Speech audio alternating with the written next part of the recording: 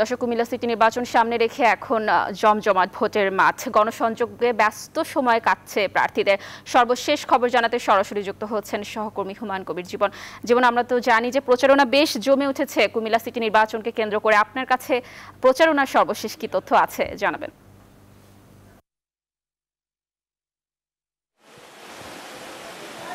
লাবণী আপনাকে অসংখ্য ধন্যবাদ। কুমিল্লা সিটি কর্পোরেশনের নির্বাচনের দিন যতই ঘনিয়ে আসছে, ততই কিন্তু নির্বাচনের মাঠের যে উৎসব, সেটি কিন্তু আসলে সামনে চলে আসছে। বিশেষ করে আসলে ভোটের যে হিসাব নিকাশ, সেটা কিন্তু এখন নগর জুড়ে আলোচনা চলছে এবং আমরা দেখছি যে আসলে হেভিওয়েট প্রার্থী যারা রয়েছেন, তাদেরকে নিয়ে কিন্তু নগর জুড়ে আলোচনা চলছে। সব কিছু মিলে কুমিল্লার যে ভোটের হিসাব, সেটি নিয়ে কিন্তু নগর জুড়ে তুমুল আলোচনা আরেকটি বিষয় দেখছি যে, আমরা সকাল থেকে কিন্তু দেখছি যে, নগরীর বিভিন্ন জায়গায় কিন্তু যারা হেভিওয়েট প্রার্থী রয়েছেন মেয়র প্রার্থী রয়েছেন, তারা কিন্তু গণসংযোগ করছেন এবং প্রতিটি ভোটারের ঘরে ঘরে যাচ্ছেন, ভোট চাচ্ছেন। আমরা একটু কথা বলতে চাচ্ছি, এখানে একজন স্বতন্ত্র প্রার্থী আছেন, যিনি সাবেক মেয়র ছিলেন মনুলক সাক্ষু আপনার কাছ থেকে একটু জানতে চাচ্ছি যে, সাধারণ মানুষের কেমন সাড়া পাচ্ছেন?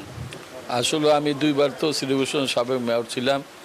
আমি অতীতে বহু কর্মকাণ্ড করছি, সবগুলি আমি সম্পন্ন করতে পারি নাই। এবার তৃতীয়বার তৃতীয়বার জন্য আমি মেয়র নির্বাচনের জন্য আমি ইনশাল্লাহ মাঠে আছি। আমি যেই কাজগুলি সম্পূর্ণ করতে পারি নাই এইগুলি সম্পূর্ণ করার জন্য এবার আমি নির্বাচন।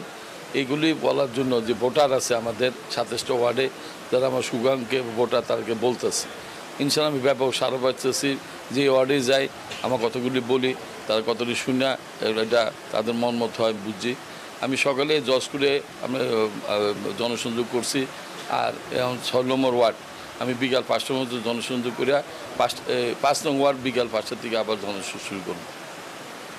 ধন্যবাদ আপনাকে। আপনি শুনছিলেন লাবণী আসলে, যারা মেয়র প্রার্থী রয়েছেন, তারা কিন্তু আসলে বলছিলেন যে কুমিল্লার উন্নয়নে কাজ করবেন। এই- এইটাই এখন বর্তমানে সকল প্রার্থীদের মুখের কথা। এই ছিল আমার কাছে সর্বশেষ, লাবণী।